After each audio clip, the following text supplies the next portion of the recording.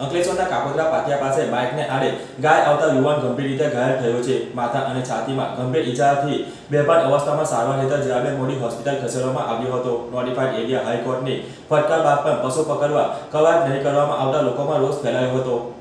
બનાવની વિગતો અનુસાર અંકલેશ્વરની ભડકોદરાના વસનામૃત સોસાયટીમાં રહેતા પાંત્રીસ વર્ષીય જનકસિંહ ઈશ્વરસિંહ દેવડા બાઇક લઈ ઘરે આવી રહ્યા હતા. કોસંબરીની રુદ્રાક્ષ સોસાયટીથી રાત્રે અગિયાર કલાકે પરત ફરતી વેળા કાપોદરા પાટિયા પાસે રસ્તામાં ગાય આડી ઉતરી હતી. અચાનક ગાય આવી જતા બાઇક ચાલક યુવાનને કાબુ ગુમાવી રસ્તા ઉપર પટકાયા હતા, જેમાં તેને માથા અને છાતીમાં અને કમરમાં ગંભીર ઈજાઓ પહોંચી હતી. એકસો આઠમાં તાત્કાલિક જયાબેન મોદી હોસ્પિટલમાં સારવાર અર્થે તેમના સારા ગણપતસિંહ લઈ આવ્યા હતા, જ્યાં તેમને આઈસીયુમાં બેભાન અવસ્થામાં દાખલ કરાયા હતા. હાલ તેમની તબિયત સુધારા પર હોવાનું તબીબો જણાવી રહ્યા છે.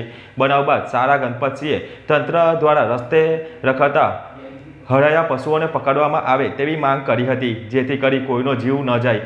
અંકલેશ્વર વાલિયા સ્ટેટ હાઈવે ઉપર ઠેર ઠેર ચોકડીઓ અને માર્ગ ઉપર હરાયા પશુઓનો અડીંગો યથાવત રહ્યો છે. કોસંબડી કાપોતરા નજીક આ પશુઓને પકડી રસ્તા ઉપરથી દૂર કરવામાં જવાબદાર તંત્ર ઊનું ઉતરતા અન્ય વાહન ચાલકો અને રાહદારીઓ પણ મુશ્કેલીમાં મુકાઈ શકે છે. અત્રે ઉલ્લેખનીય છે કે હાઈકોર્ટના કડક સૂચના છતાં હજી અંકલેશ્વર વાલિયા મહારાષ્ટ્રને જોડતા આ સ્ટેટ હાઈવે ઉપર ફરતા પશુઓને પકડવાનું મુહૂર્ત હજી તંત્રએ નહીં કાઢતા, રોડના પસાર થતા હજારો વાહન ચાલકો અને આસપાસના રહેતા સ્થાનિકો અકસ્માત તેમજ ઈજાનો ભોગ બની રહ્યા છે.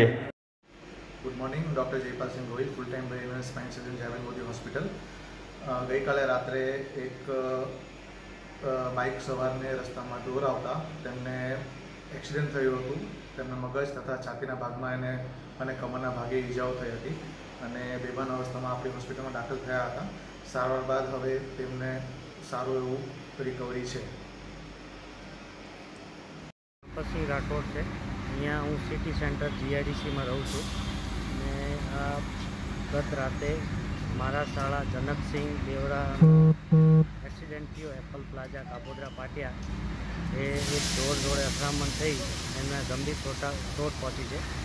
એને લીધે આપણે જયાબેન મોદીમાં આઈસીયુમાં દાખલ છે. અને એમનો સારવાર ચાલે છે.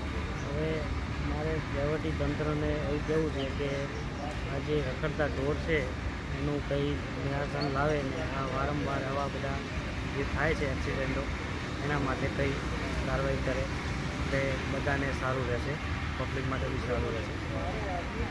ધન્યવાદ.